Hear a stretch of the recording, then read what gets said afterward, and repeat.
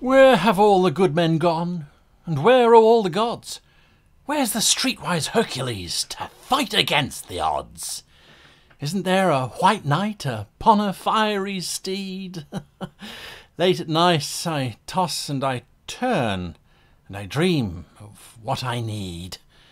I need a hero. I'm holding out for a hero till the end of the night. He's got to be strong. He's got to be fast. And he's got to be fresh from a fight.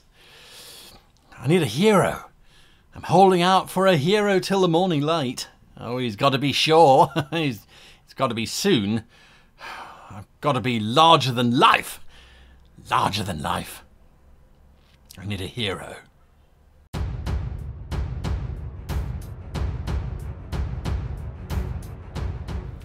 Hello, and welcome to this week's episode of How to Be a Great Player. My name is Guy, and today we're talking about Are You a Hero? Now, what do we mean by are you a hero versus what? Well, the alternative at a gaming table between a hero player and a not hero player is the not hero player would be called a sidekick. We're going to look at that next week. So if you think you're a sidekick, you can still watch Hero Video because you can become a hero. If you are a hero, you should be watching this video to make sure that you're not the wrong type of hero. So, what do we mean by hero? What are, what are the signs that you might be a hero player rather than a sidekick player? Well, let's have a look. Let's see what we've got here. So, the signs. The signs, the signs, the signs of Are You a Hero? Center of attention. This is not a bad thing. A lot of people think, oh, center of attention, bad, bad, bad, bad, bad, bad, bad.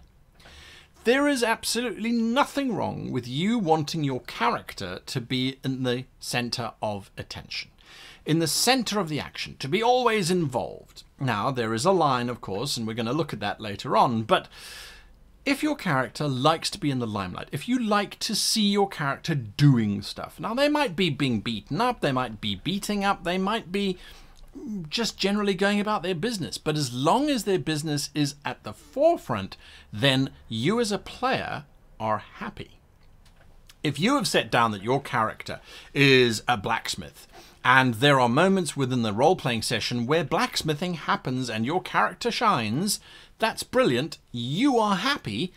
You are the center of attention. That might be a sign that you're a hero. And there's nothing wrong with that. There's absolutely nothing wrong with that. You might be a hero if you talk a lot. Now, I know that that might be me projecting a hopeful desire to be a hero because I like talking. you may or may not have noticed.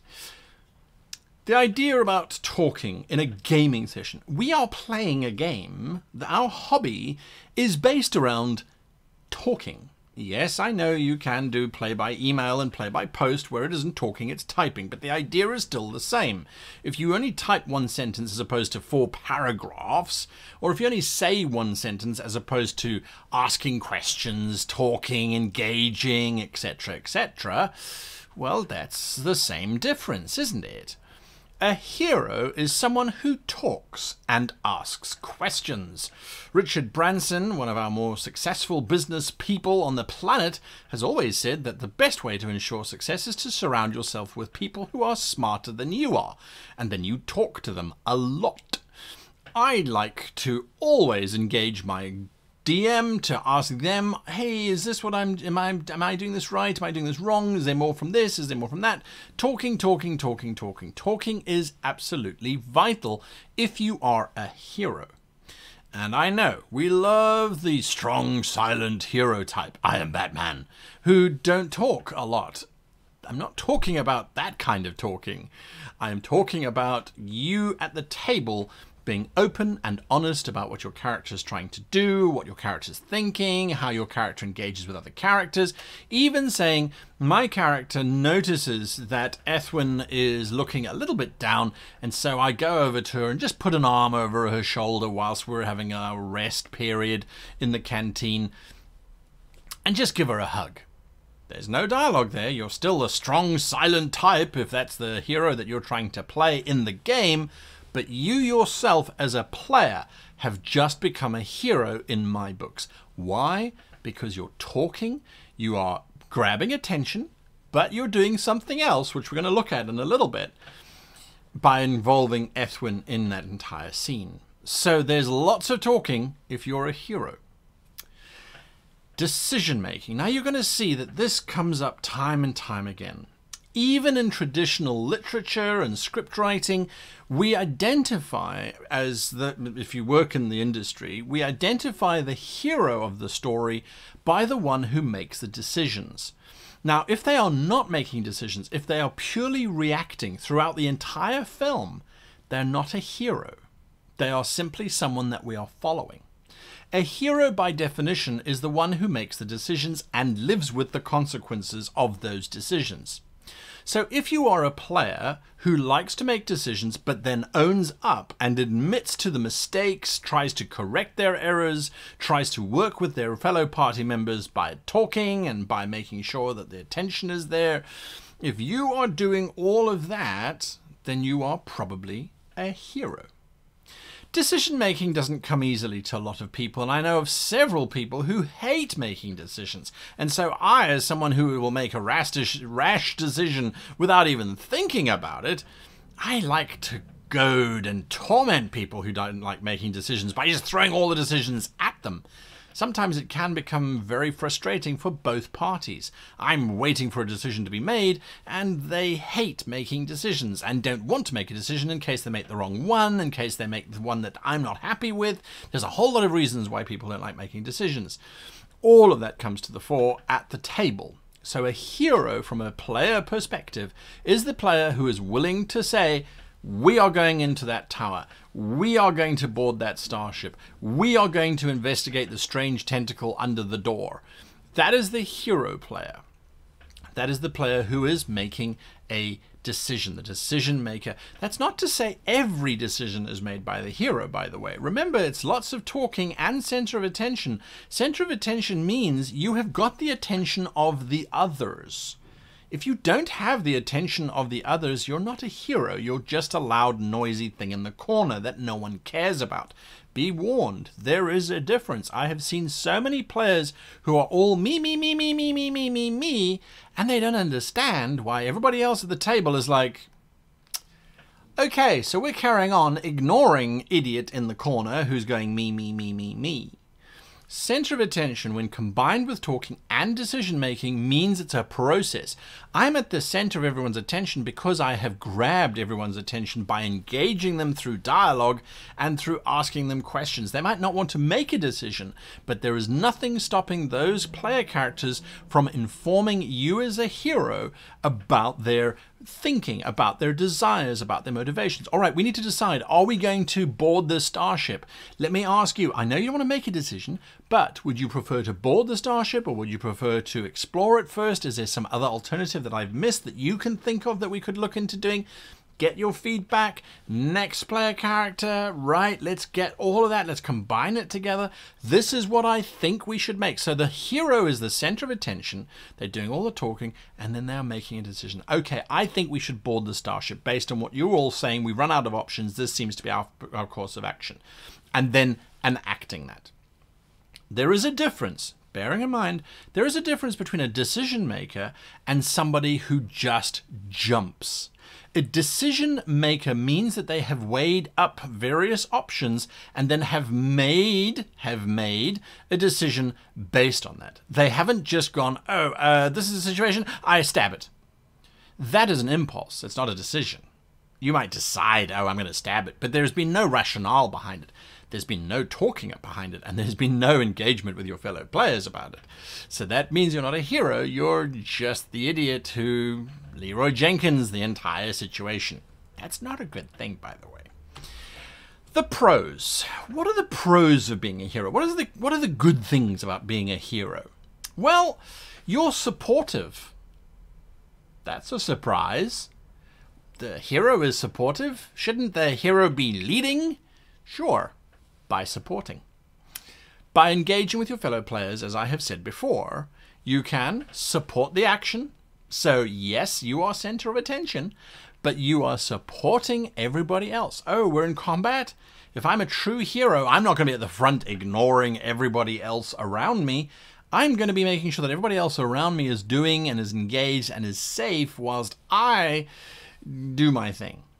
If you are a player and you are a hero, you are making sure that the other players' characters are involved and engaged and that your character is engaged with them. Remember, if we go back to the signs of being a hero, it's about talking and engaging and being the center of attention by helping others. So you can do that. And certainly in terms of information, because you're the one doing all the talking, because you're the one who's making the decisions, you're gathering all the information together. So a good hero is somebody who is well informed. You can only be well informed if you ask your fellow player characters what's going on, what do they know, what information do they have. It's important that you do that. That's, again, the mark of a hero. You let others shine. You allow others to shine by assigning them tasks. Go do this, go do that. Can you help me here? Can you help me here? Your center of attention, can you help me? You are the librarian. I am not. I can't go into that library and get that information, but you could. Could you go into the library and do that? So I have passed it over to you, my fellow player, who can now shine. They can go and do the research in the library. We know they've got the skills to do that, whilst my character now sits back and relaxes in the cantina. I'm certainly not shining, but it was my heroic decision, and I say that uh, with the utmost modesty, it was my heroic decision to pass the torch to somebody else, to let them shine for a little bit. I don't have to shine all the time. Just remember, it was me who sent you there in the first place. So, nonetheless, you also are going to be progressing the plot because you're gathering all the information, because you're making decisions based off of the information that you've gathered, because you're asking your fellow players and their characters what they think and what should happen and what should what should be done. You're moving the plot forward. You're pushing the plot forward. You are absolutely pushing the plot forward. No doubt about it. You are driving that. Uh, because, because uh, as I'm saying this, I'm, I'm busy thinking of a situation where I had a player who was doing this. We were playing uh, in in in a rather complicated game. There was lots of politics and research and that kind of stuff going on. The party split five ways, but the hero player at the table had made sure that each of the party members had something to do to go and get. There wasn't just a, oh, you're just going off on your own. Fine. There was, I know you're going off. What, what are you, what are you looking for specifically? Okay, could you also do this? Five players went off, five player characters. Five player characters came back and the hero player tied together all of the pieces that they had discovered individually and then shared it out with the rest of the group. It was an absolutely amazing experience. And then they made a decision based on that, which was far stronger than just blindly running into the castle or whatever the situation might be. The negatives, however, the negatives, the bad things, there are many bad things. The bad things about being a hero. You can sometimes be bossy Oh, um, right. We've arrived at the starport. I want you to go to the registrar's office and see if you can crack into those codes, get those codes for us. I want you to go over to the merchant's space and see if you can buy us some better armor and look out for some rumors there. I want you to go to the tavern, and whilst you're at the tavern, I need you to please just listen for rumors. And I'm going to go and do this uh, thing with the princess because I'm glorious. There's a difference between being talkative, the center of attention, and decision making and giving orders. Orders are bad. Orders are negative. Orders are not what your fellow players are there for, unless it's a particular type of game you're playing. Generally speaking, it's about, well, what were you thinking of doing? Oh, you were going to go to the tavern. Do you think while you're there you could listen for rumors? Exactly the same outcome, just delivered in a different way. And suddenly you have become, you're the center of attention because everyone's listening to you. You are talking and you are decision making. Well, could you listen for rumors? Oh, yeah, sure, I could listen for rumors. And then they're off they go. Happily, as opposed to those that were ordered to go and do things by this bossy boots that came out of nowhere. Hero players, because they are the heroes, can also be loudmouthed. They like talking, so they talk a lot, and they can talk over those who are not accustomed to talking a lot. So hero characters need to learn when to shut up. Hero players, I should say. Hero characters are a whole different story. Hero players need to learn when to shut up and let their other players talk. It does require you to sometimes sit back and just not prompt, just not say anything, especially if your character's not there. You just sit quietly and let your turn happen when you can then try and act upon what has happened. Being a loudmouth is something that people who like talking can fall into.